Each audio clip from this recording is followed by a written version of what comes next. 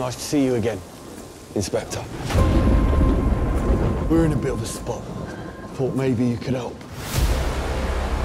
He was stationed on a supply train that got robbed last night. Only one type of critch I know that could fly him up there. You think a Pix did this? Who else? I'm not police. Not anymore. I can't help you. We are a nation under attack from within. It is my duty to send a message to any critch considering sedition. A gift from the Chancellor to the fine people of the row. There's fire. Executed without even a trial, innocent men. It's your decision. The world's falling apart and we can't just sit at home and do nothing. What have you got in mind?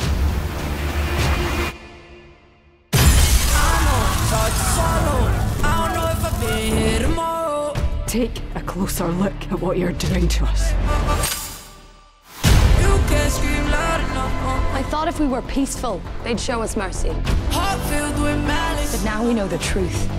If they shoot at us, nail our heads against a wall, they will pay for it in their own blood.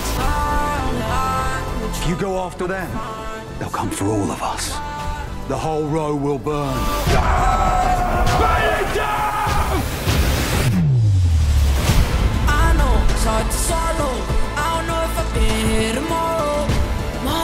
Should be afraid of us.